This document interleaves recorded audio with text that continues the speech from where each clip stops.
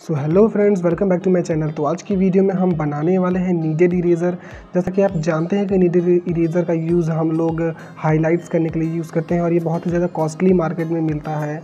और इसका हम, इसको बनाने के लिए हम यूज़ करेंगे डोम्स का इरेज़र जो कि आपको बेसिकली किसी भी शॉप पे मिल जाएगा, जहाँ पे आप इरेज़र्स लेते हो या फिर आप बुक्स लेने जाते हो, आप वहाँ से डोम्स इरेज़र ले सकते हो और मैं यहाँ पे अपना एक ओल्ड इरेज़र यूज़ करने वाला हूँ, जिसे मैंने पहले भी यूज़ किया है।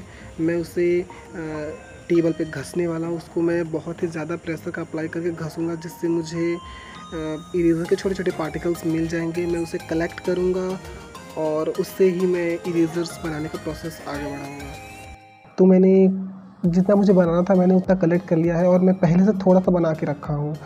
और आपको उसे अपने पाम पे लेके रब करना है और जितना ज़्यादा आप उसे रब करेंगे, उतना ही ज़्यादा वो सॉफ्ट होगा। आप उसे टेबल पे रख के रब कर सकते हैं, वो अपने लिए ज़्यादा इजी होगा।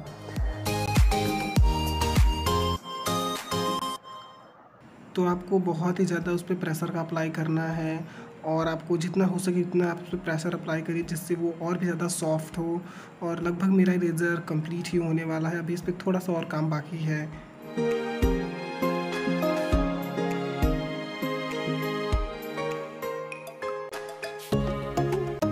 आपको उसे मसलना है, बहुत अच्छे से मसलना है, जिससे कि वो एकदम ही ज़्यादा सॉफ्ट हो जाए और उसे आप पाम पे लेके जब उसे रब करेंगे आप तो उस, आपके हाथ की जो गर्मी होगी, वो उसकी वजह से वो ज़्यादा, बहुत ही ज़्यादा स्टिकी और वो मोल्डेबल हो जाएगा।